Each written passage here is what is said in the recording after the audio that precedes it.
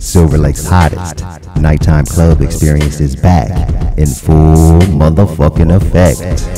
Tenants of the trees. And everybody want to get next to the tree with the most shade. Yeah, yeah.